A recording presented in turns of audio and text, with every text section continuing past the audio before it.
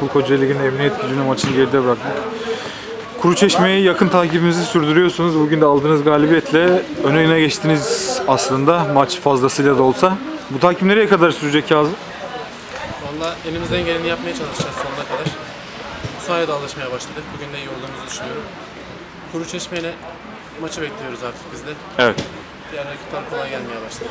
Ama yine de güzel maçtı. Rakibimizi tebrik ediyoruz. Buyurun. Evet güzel bir maç oldu. Gereksiz bir şekilde gergin anlar yaşandı. Ama olsun yine biz kazanmayı başardık. Artık tek düşüncemiz liderlik. Teşekkür ederim.